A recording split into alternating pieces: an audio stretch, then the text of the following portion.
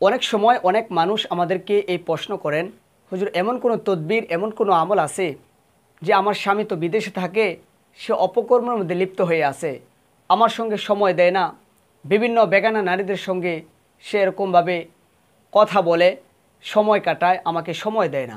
আবার অনেক পুরুষ ভাইয়েরা আমাদেরকে ফোন দিয়ে বলেন যে, হুজুর, আমি বিদেশে থাকি, ওইদিকে আমার স্ত্রী পরকিয়া করে বেড়ায়, অন্য পুরুষের সঙ্গে সময় কাটায় আমাকে বেশি সময় দেয় না, ফোনে পাওয়া যায় না। এরকম তদবির কি দেওয়া যায়? এরকম কি কোনো আমল দেওয়া যায়? যেটা করার মাধ্যমে উভয়ের, তাদের উভয়ের সম্পর্ক বিচ্ছেদ হয়ে যাবে?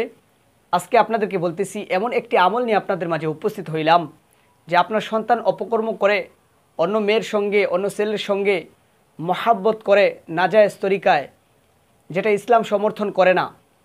বৈধপন্থায় স্বামী স্ত্রী ছাড়া স্বামী স্ত্রীকে মহাব্বত ছাড়া অন্য মেয়ের সঙ্গে অপকর্ম করতেছে।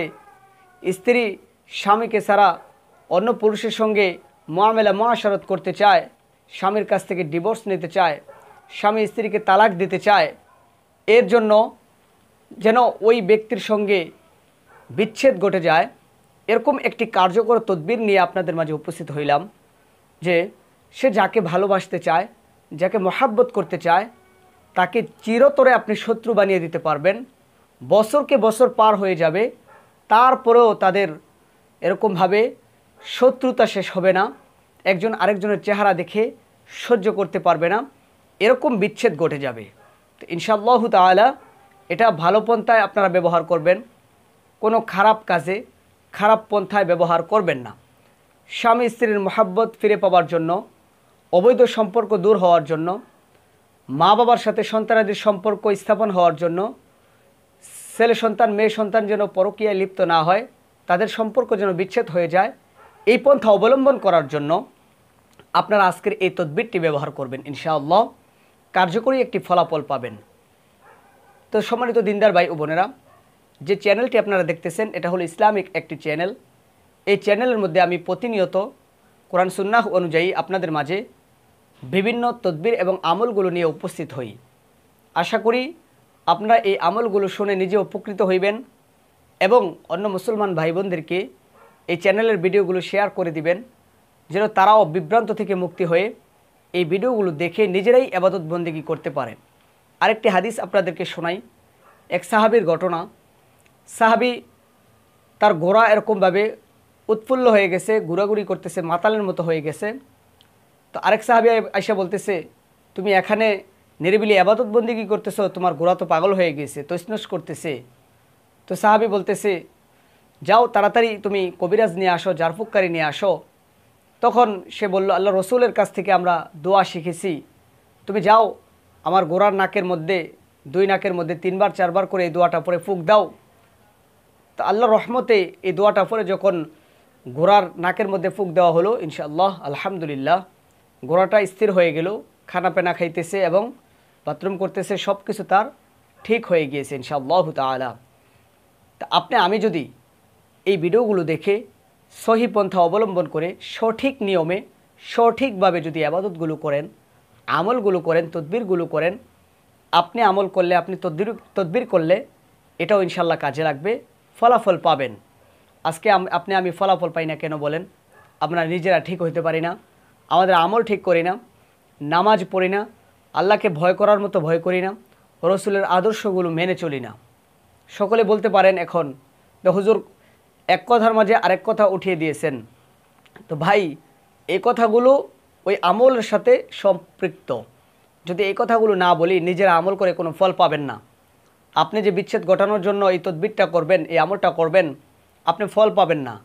এই জন্য আপনাকে সম্পূর্ণ কথাগুলো শুনতে হবে। আপনাকে সৎ হইতে হবে, হালালখানা বক্ষণ করতে হবে। তখন আপনি আদনা থেকে আদনা একটি আমল দিয়েও যখন মানুষের উপকারার্থে আল্লাহর দরবারে আকুতি মিনতি করবেন, ওইটাই আল্লাহর কাছে গ্রহণযোগ্য, আল্লাহ কবুল করে নেবেন ইনশাআল্লাহ তালা আজকের এই গুরুত্বপূর্ণ আমলটি করার জন্য আপনাকে দিন তারিখ নির্ধারণ করতে হবে। চন্দ্র মাসের আরবি মাসের হিসাব করে আঠাইশ তারিখ, উনত্রিশ তারিখ। কয় তারিখ? আঠাইশ এবং উনত্রিশ তারিখ আসরের নামাজের পরে। আসরের নামাজ পড়ে আপনাকে একটি তদবির লিখতে হবে, যেটা আপনাকে স্ক্রিনের মধ্যে আমি নকশাটা দিয়ে দিব। এটা আপনি দেখে, আপনি যদি সৎ ব্যক্তি হন, আপনি এটা সুন্দর করে লিখবেন। হ্যাঁ? এই তদবিরটা লিখে আপনি তাবিজের ভিতরে ভরে আপনাকে কবরস্থানের মধ্যে এটা নিয়ে যেতে হবে। পুরাতন দুইটা কবরস্থানের মধ্যখানে এক হাত খুঁড়ে এর ভিতরে আপনি এই তাবিজটা রেখে দিয়ে আসবেন। নিরিবিলি যেখানে যে কবর আর খোঁড়া হয় না, পুরাতন কবর, এখানে মানুষ আর যায় না। ওই রকম কবরস্থানের মধ্যে গিয়ে আপনি এটা তাবিজটা পুঁতে দিয়ে আসবেন ইনশাআল্লাহ তালা কেল্লা খতম।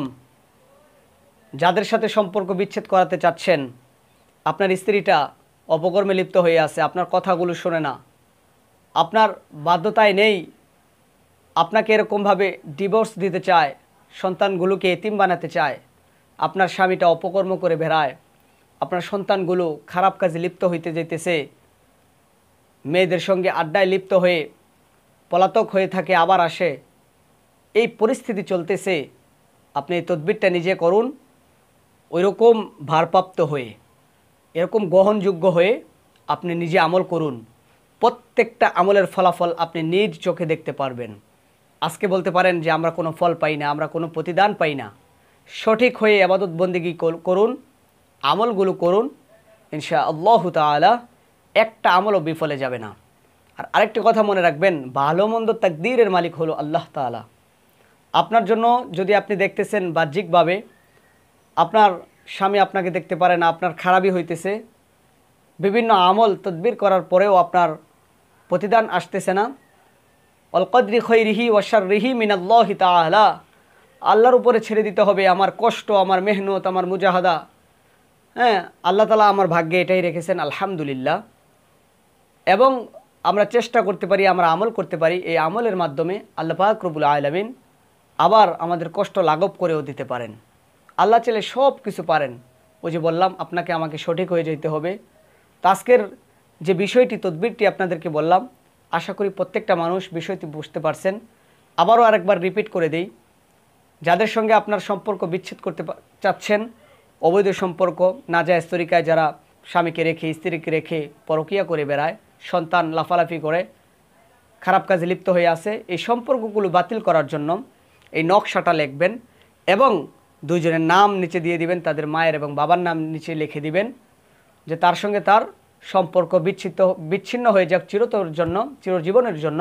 এটা লেগে তাবিজ আকার করে আপনি পুরাতন কবরের দুইটা কবরের মাঝখানে এক হাত খুঁড়ে ওই তাবিজটা পুঁতে আসবেন ইনশা আল্লাহ এক সপ্তাহের ভিতরে রেজাল্ট দেখবেন, তার মন পরিবর্তন হয়ে যাবে। আপনার স্বামী আপনার কাছে ফিরে আসবে, আপনার স্ত্রী আপনার কাছে ফিরে আসবে, আপনার সন্তান বাহিরে থাকে, অপকর্ম করে, সে আপনার কাছে ফিরে উপস্থিত হয়ে যাবে মা বাবার কোলে।